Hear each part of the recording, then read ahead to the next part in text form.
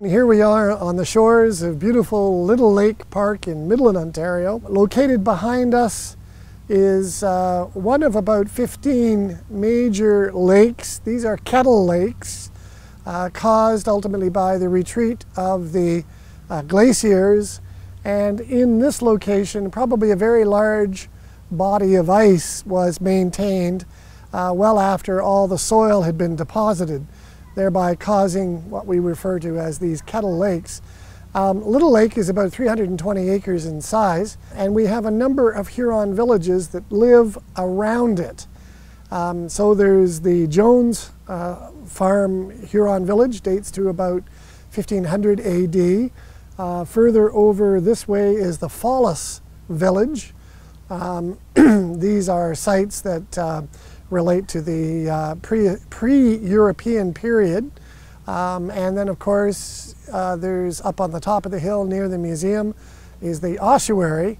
We believe that the ossuary relates to the Jones site, which again is on the Jones farm, which is on the southern shore of Little Lake. It's been known um, by a variety of different names. George Ludlow, for example, was one of the members of uh, Bayfield's uh, survey of Georgian Bay.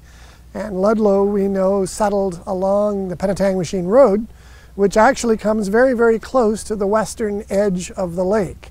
And so for a time, Ludlow was the only individual living on in the valley, uh, roughly where Sargent's Fuel and Ready Mix are located. And that was George Ludlow's home. And of course, the lake became known as Ludlow's Lake.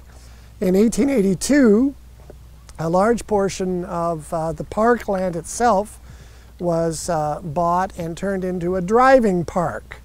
And uh, you would be able to go out into the country from downtown Midland and drive your buggy through the park more or less in the road that we think that exists now today. So in 1887, Part of the park was purchased uh, by the growing town of Midland. Um, other parts and pieces of the park were donated by the Fraser family.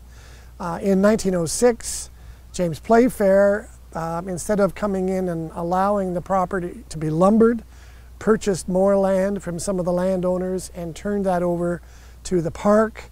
So over a long period of time, all of the pieces and elements that we now know to be Little Lake Park all came together as a park.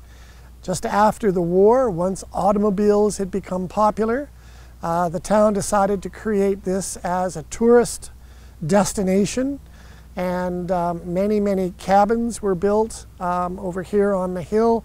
Many, many sites for campsites with uh, tents on both wooden platforms and then tents right on the ground were allowed to be um, um, set up over here, and the camp became a real destination. There's an estimate somewhere between 500 and 2,000 campers would make Little Lake Park a destination.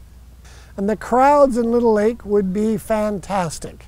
There would literally be two, 3,000 people here for a major event or for a major regatta. It was a very, very well used park.